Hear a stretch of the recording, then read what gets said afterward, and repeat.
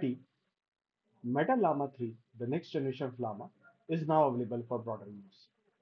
It features pre-trained and instruction fine-tuned language models with 8 billion and 70 billion parameters respectively, which can support various use cases.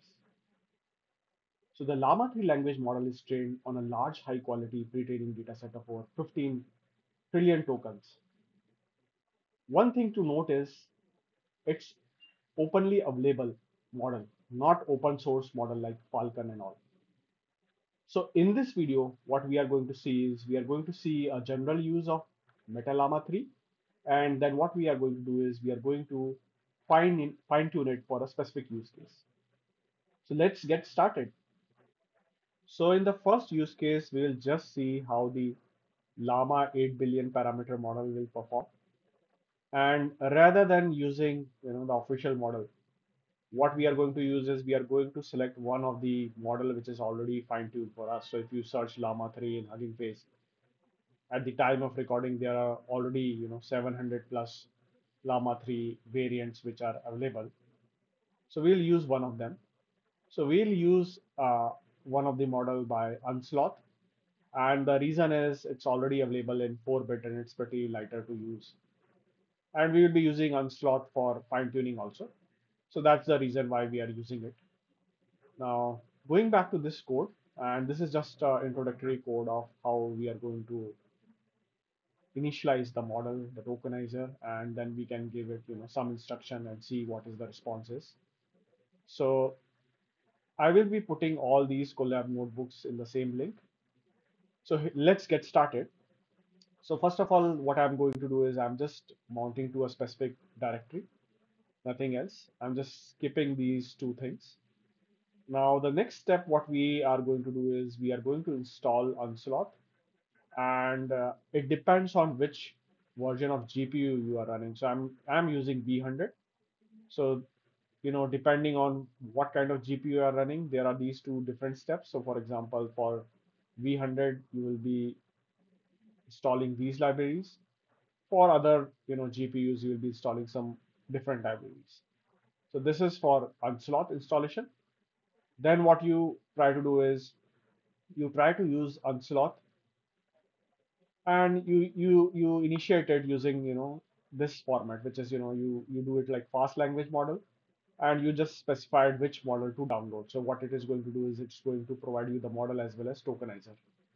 Now this is somewhat different from you know the official Hugging Face library but uh, Unsloth uh, provides it like that and it's pretty much efficient. So we are going to stick with this. So here what we are doing is we are just, you know, trying to load, you know, the model which is there in Hugging Face and we are using Unsloth to, you know, initialize it.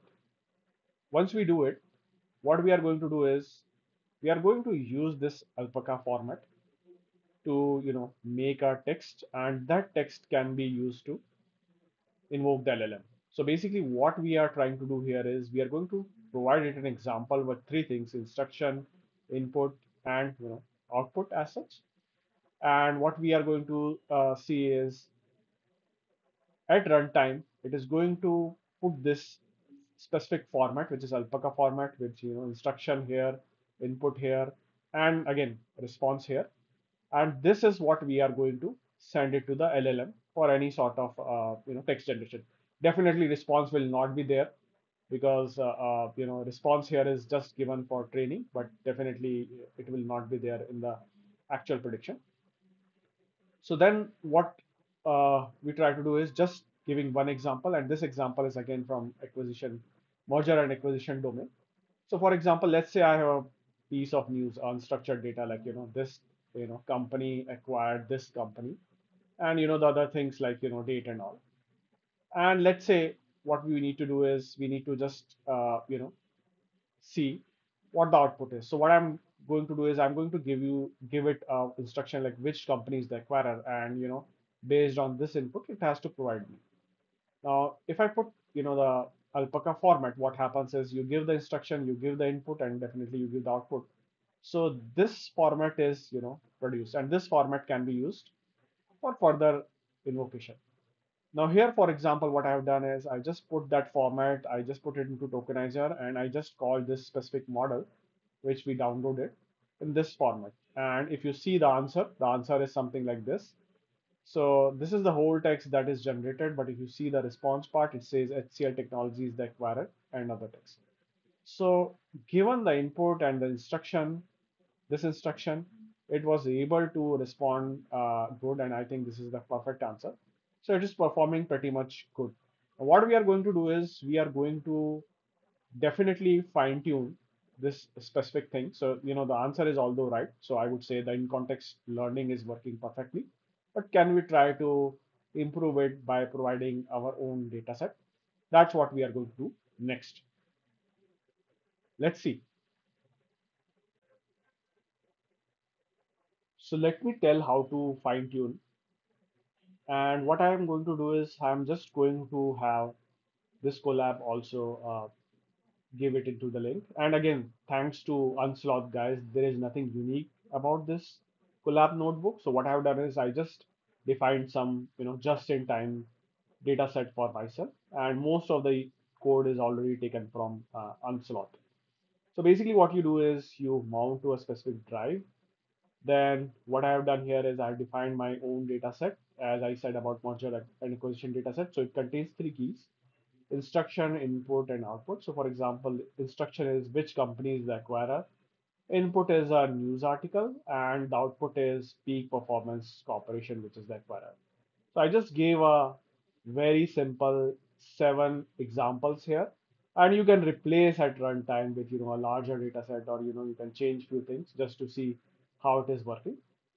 So basically once it is defined, what we try to do is again we try to install few things. I'm using V100, so you know my libraries will be different. If, I would have used something like A100, then you know the libraries would be slightly different. And this is again all bo boilerplate code from Unsloth. So basically what you do is using fast language model, you try to instantiate, you know, different parameters. And then depending on, you know, what things you have to uh, fine tune, you can define several other parameters which are to be optimized. So for example, here we have defined all the parameters which will be used for you know, defining a PEFT model. And once you do it, what you try to do is again, this data set which you have created, you just try to put it into uh, you know some specific format where you know which is alpaca format. So for example, uh, what we are going to do is we are going to send our uh, this data set one by one and we are going to produce a next column. So let me explain what it is. So basically uh, here if you see what we are trying to do is we are trying to make a data set uh, and the data set contains three things instruction input and output the same thing which we saw earlier but when you call this specific function, function called formatting prompt function what it is going to do is it is going to add one more thing called text which will be used for fine tuning and this text the you know contains you know instruction input and you know response in a one single format. That's what it tries to do.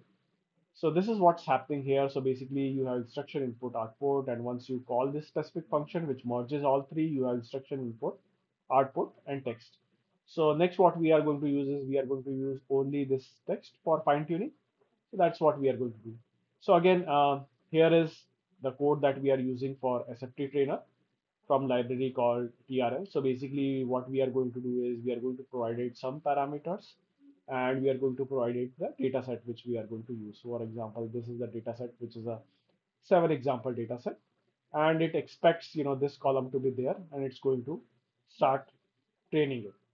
So it starts training it.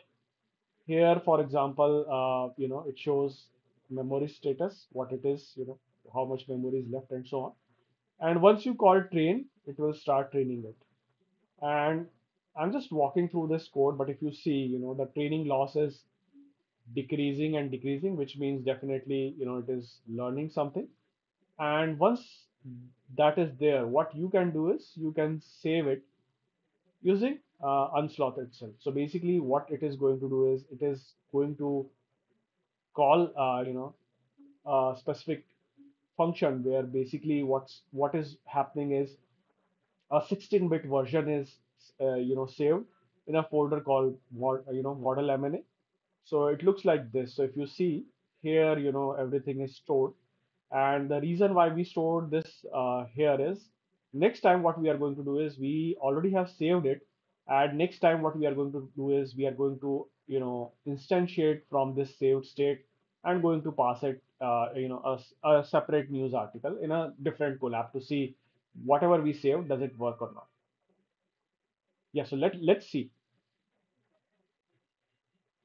So here is separate Colab and the reason we are doing it is because we used one Colab notebook to fine tune. We will use this Colab notebook to load that model and predict.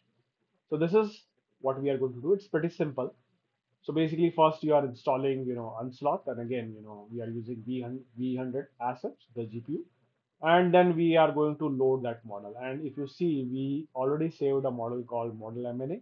So that is what we are going to load in a 4-bit format. And once we do it, what we are going to do is, uh, uh, again, as I already defined, you know, for any sort of prediction, we are going to make it in alpaca format where, you know, instruction and input will be there. And uh, the first example that we gave it, like for example, when we were using the raw llama, what we try to do is we gave it one specific example where we put a news article and we asked, you know, who is the acquirer and give us the output. So same thing we are going to try here. So basically the only difference is now it is going to perform on our fine-tuned model. So we gave a input, we gave an instruction, which is this instruction, and this is what is going to be formed uh, as such. And this is what is going to be fed to this new model which we have. And if you see the answer, answer is, you know, the response is HCL Technologies acquirer. If you compare it to the, you know, in context learning where we didn't fine tune for our specific use case, the answer is same.